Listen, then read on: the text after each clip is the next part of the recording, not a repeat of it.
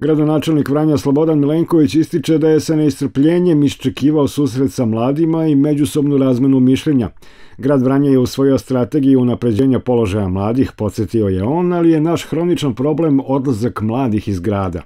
Upravo to želim da čujem šta mi kao lokalna samouprava možemo još dodatno da učinimo, da motivišemo ljude da imaju želju, pre svega mlade ljude, da kada i završe studije, planiraju svoju budućnost i formiranje svoje porodice u našoj opštini.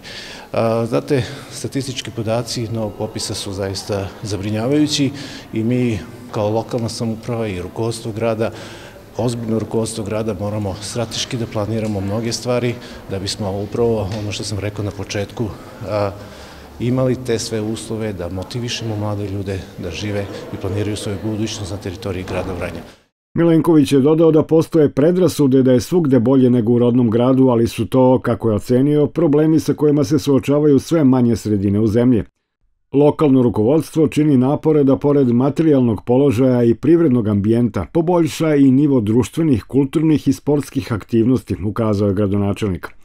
Dijalog mladih sa gradonačelnikom Vranja je finalna aktivnost projekta Vranje čuje mlade, koji sprovodi udruženje aktivisti iz Komšiluka i čiji je cilj da mladi u direktnom kontaktu sa donosiocima odluka na lokalu izraze svoje potrebe i probleme, ali i moguće rešenja.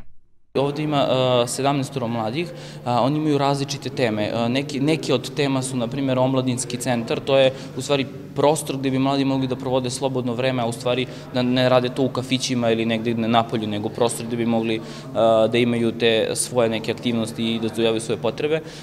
Takođe, mladi su, na primjer, zainteresovani za mentalno zdravlje, za psihološku pomoć, smatruju da je to mladima neophodno, pogotovo sad posle korone. Takođe, neki od učesnika će govoriti i o sportskim potrebama, zatim imamo neke volonterske akcije koje su im potrebne, tako da različit je spektar stvari koje mladi interesuju. Pripreme za dijalog sa donosiocima odluka na lokalu su počele prošle godine prilikom izrade strategije unapređenja položaja mladih, nakon čega je usledio niz aktivnosti u saradnji aktivista iz Komšiluka i Kancelarije za mlade. Na javni poziv za dijalog se prijavilo 60 kandidata, od kojih je za ovaj susret izabrano njih 17.